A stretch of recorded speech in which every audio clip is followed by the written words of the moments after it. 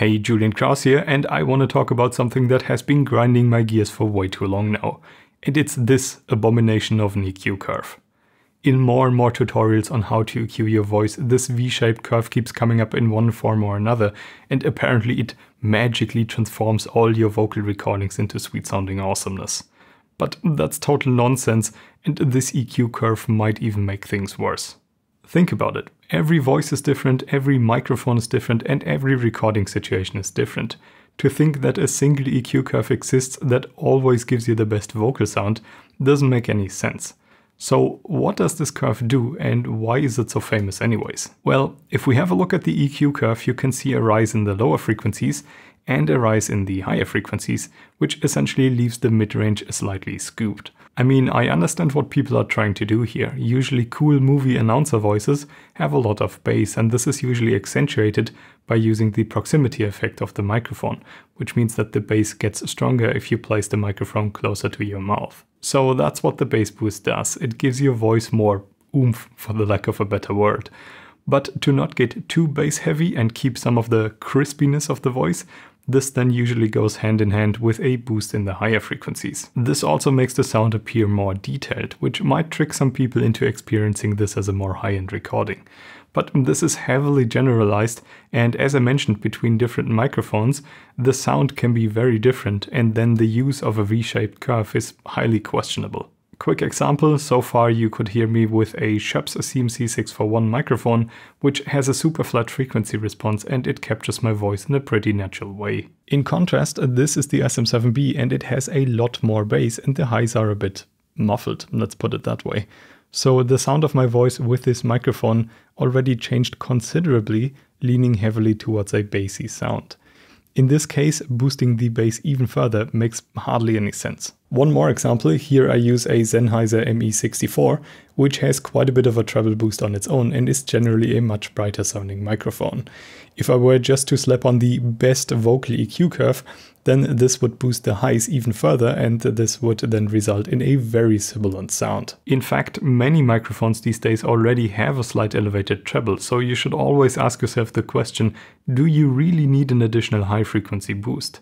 Does it really improve the audio or are you just doing it because somebody on the internet said so? And it's funny because time and time again I see some people recommending an EQ curve with a high frequency boost, but then they complain about the sibilant sound and then they slap on a de-esser to try to compensate that again.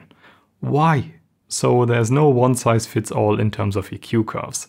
That said, here are some general guides which will steer you in the right direction with EQ. Let's talk about what the different frequency ranges of your voice contribute to the overall sound and for that let's have a look at an FFT of my voice, which essentially shows you in which frequency area my voice is producing sound. The human vocal range spans quite a broad range of frequencies starting at about 80 Hz going up to nearly 20 kHz, which is also the upper limit of human hearing. And this brings me to my first point. Every voice has something called a fundamental frequency, which is the lowest part of our voice. This frequency can vary quite a bit depending on if you have a higher or deeper voice. For me, this hovers around 100 to 150 Hz. Below that you can see that there's hardly anything going on and in fact below the fundamental the human voice produces hardly any signal. In this low frequency area from 0 to about 80 Hz there can oftentimes be some rumble from for example an air conditioner nearby. But because there's not much useful vocal information down there you can simply use a high pass filter, also called a low cut, to cut out the rumble without affecting the sound of your voice. 80 Hz is often used as a standard setting, but be careful, more gradual filters usually start their roll off quite a bit higher, and then even the 80 Hz setting can already start to cut into your voice.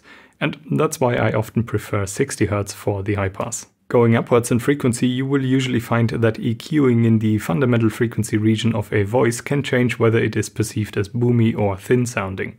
Let me demonstrate. If I boost the sound around 120 Hz, this can make the voice much more bass heavy, and if you go too far it will sound really boomy. Conversely, if I lower the amplitude, you can hear that my voice gets much more tinny, and then it lacks the oomph that I was mentioning in the beginning of the video. So you can use EQ in the bass area to lower the sometimes overwhelming bass you can get due to the proximity effect. Or you can give your tinny sounding mic a bit of a boost to make your voice more full sounding. One thing you also notice is that the fundamental frequencies are not always the same, but they change from word to word. That's why it's usually a good idea to cut or boost with a slightly wider filter.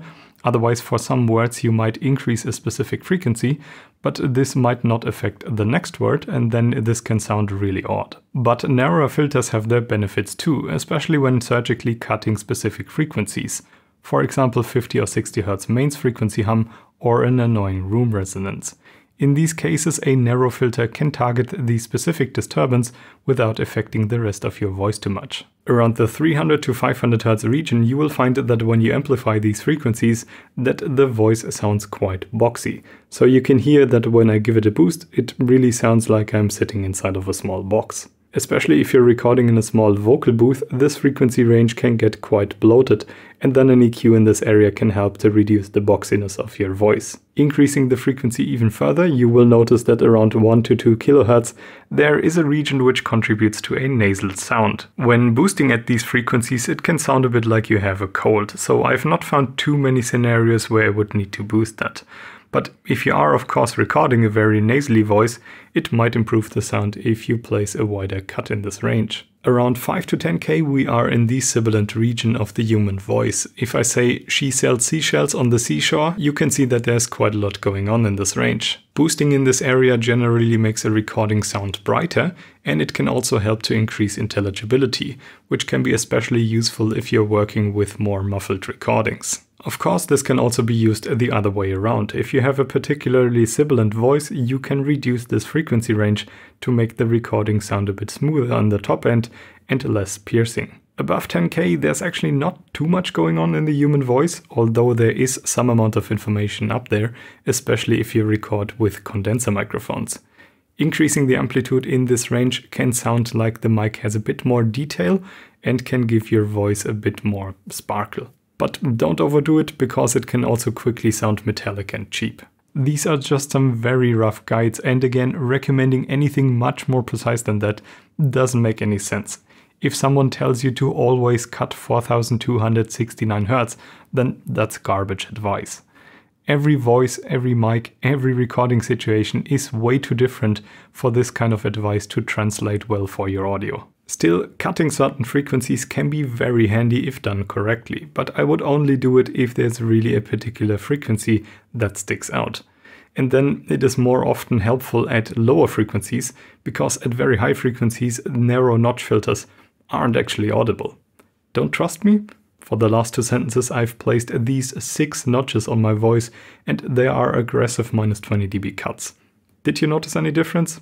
I don't think so. So if you see people doing this, then it's really just overkill and the change in sound they hear is oftentimes just placebo. That brings me to my next point. If you use very wide filters, then they are quite a bit more audible and you should be a bit more careful.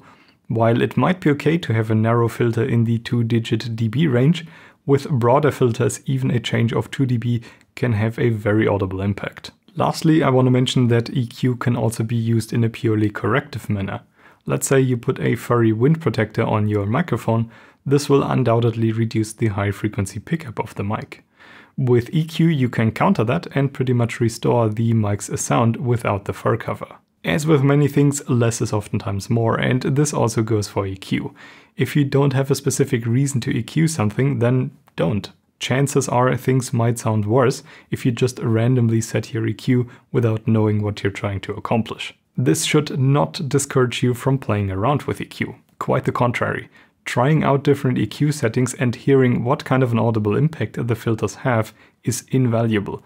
Using an EQ is a skill that you do not learn overnight. To close out this video, don't get me wrong, there is nothing inherently wrong with this particular curve. If that's what you need to get your voice to sound great, then that's absolutely fine. But don't just mindlessly slap on this EQ curve because you've seen it being used by somebody else. Use EQ to make deliberate changes. There is no one size fits all EQ curve. Period. Alright, rant over. Give this video a thumbs up if you enjoyed it. Subscribe for more tips, tricks, tutorials and reviews and I will see you all in the next one.